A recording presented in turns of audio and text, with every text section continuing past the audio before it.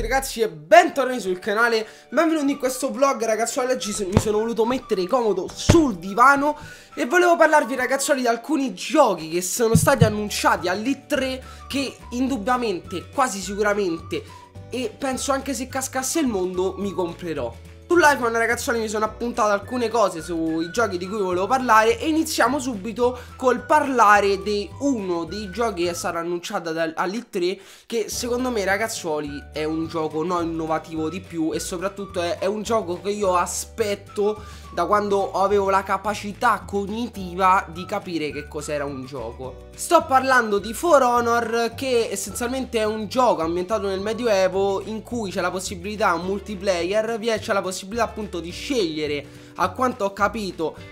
tre tipi di guerrieri, eh, legionari e poi non mi ricordo, vabbè comunque c'è la possibilità di scegliere questi tre tipi di guerrieri ci sono due squadre che si affrontano una contro l'altra e ovviamente chi resta per ultimo vince.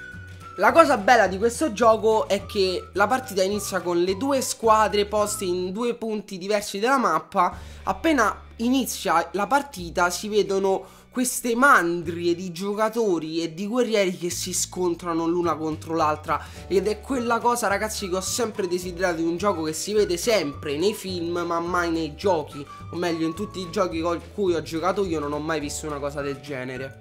L'altro gioco di cui volevo parlare era Rainbow Six Sig mi sembra che, eh, di cui la beta uscirà il 24 settembre. Vi consiglio di scaricarla ragazzuoli perché anche questo è un gioco che non si vede quasi mai in giro. Sono tutti quanti ovviamente sempre della casa Ubisoft Questo gioco ragazzuoli ha due livelli di difficoltà Il realistico è impossibile Mentre quell'altro ti dà la possibilità di riuscire a vincere Anche con se non molto facilmente il multiplayer si divide in questo modo, c'è una squadra formata da un gruppo di poliziotti e una squadra formata da un gruppo di terroristi. Ovviamente i poliziotti devono entrare attraverso varie tattiche all'interno di case, all'interno di cose dove ci sono i terroristi e ovviamente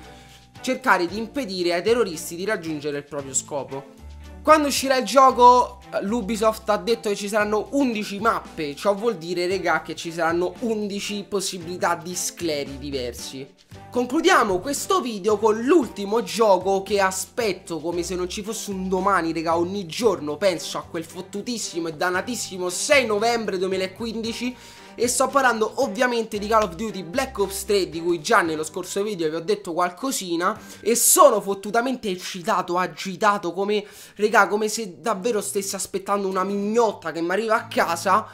sono davvero così eccitato per questo gioco perché c'è un ritorno al gioco che mi ha appassionato di più, Black Ops 2, regà. Cioè, Black Ops 3 è il ritorno epico, fantastico di Black Ops 2 in chiave moderna, in chiave futuristica, possiamo dire più che moderna, quindi in linea con i nuovi Call of Duty che si sono sviluppati negli ultimi anni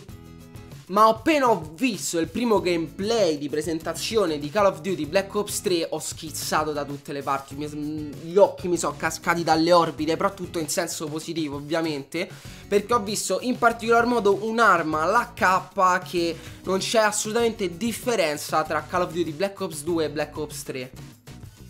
E la cosa ragazzuoli ovviamente mi ha riempito il cuore di gioia. Detto questo ragazzuoli il video finisce qui. Nei commenti fatemi sapere intanto ci sono le zanzare Cosa ne pensate di questi tre giochi che vi ho portato quest'oggi in questo video. Ci vediamo alla prossima bella